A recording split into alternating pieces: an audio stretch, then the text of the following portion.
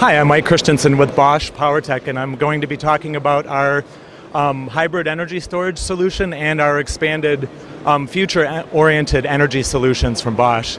So here we have our all-in-one hybrid storage unit. This is an all-in-one inverter plus battery management and um, energy storage. It goes from 4.4 to 13.2 kilowatt hours, and it allows you to store that solar energy that you generate for use later in the evenings.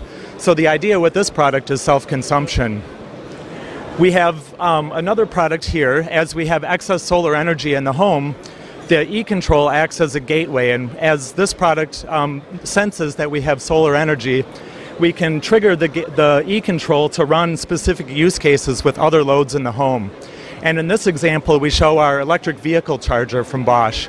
And in this case, when we have excess solar energy, we can trigger the um, vehicle charging station to run with that extra solar energy. So again, focusing on self-consumption of that solar energy before you export to the grid. So all of these solutions and um, many more solutions regarding the future of energy can be found at our website at www.boschpowertech.de.